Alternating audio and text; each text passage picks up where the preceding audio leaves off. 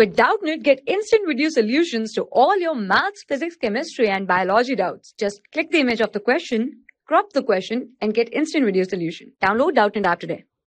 The given question says that find the sum of two middle terms of the AP. And we are given the following AP. Minus 4 divided by 3, comma, minus 1, comma, minus 2 divided by 3, comma, minus 1 divided by 3, comma, dot, dot, dot, 4, and 1 by 3. So this is the AP that we are given. Now we don't know the number of terms. So first of all, what we are going to do is find out the number of terms. Then we will find out the middle terms. What will be the number of the middle term? And then we will find out the sum of two middle terms. So let's first of all find out the number of terms. And for that, we have in the question we are given the last term of AP as 4 and 1 divided by 3 and we know that formula for last term of AP is a plus n minus 1 multiplied by d is equals to 4 and 1 divided by 3.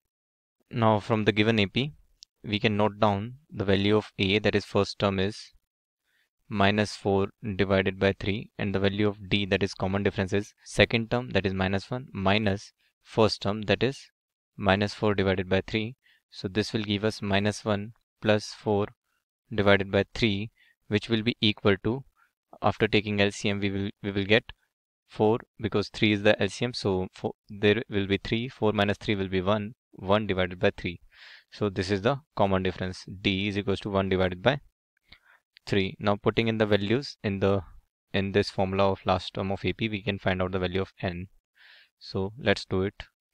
A is equals to minus 4 divided by 3 plus n minus 1 multiplied by d. D is 1 by 3 is equals to this 4 and 1 by 3 will be 13 divided by 3 because 4 will be multiplied by 3 12 12 plus 1 is 13 and the denominator will remain the same. So we will get 13 divided by 3 now on solving it further we will get 13 divided by 3 plus 4 divided by 3 is equals to n minus 1 multiplied by 1 divided by 3 so on taking LCM because 3 will be the LCM so we will have 17 in the numerator.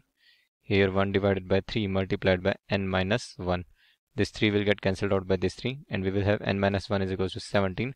So n will be 18. So these are the total number of terms in the AP that is 18. Now we are supposed to find out the middle terms. So the middle terms will be the two middle terms will be n by 2th term and n by 2 plus 1 th term. Now let's put in the value of n. So 18 divided by 2th term and 18 divided by 2 plus 1 th term. So this will give us ninth term of the AP and 10th term of the AP. So these are the middle terms of the AP. We are supposed to find out the sum of these middle terms. So let's do it. What we are supposed to find out is A9 plus A10. On solving it, we will get, because we know that formula for nth term of AP is A plus n minus 1 into D. So using that formula, we can write this as A plus 8D and a plus 9d.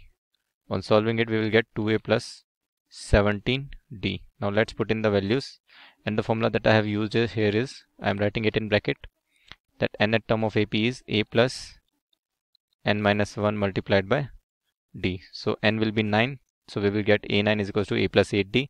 When n will be 10, we will get a10 is equals to a plus 9d. Now let's solve it. Putting in the value of a and d, we will get 2a plus 17d so a is equals to minus 4 divided by 3 2 multiplied by minus 4 divided by 3 plus 17 d the common difference d is equals to 1 by 3 so we will get 17 divided by 3 this will give us minus 8 divided by 3 plus 17 divided by 3 17 minus 8 is 9 divided by 3. So this will be equal to 3. So this is the sum of two middle terms of the AP that we were asked in the question. So this will be equal to 3. That's all. Thank you. For class 6 to 12, IIT JEE and NEET level. Trusted by more than 5 crore students. Download Doubtnut App today.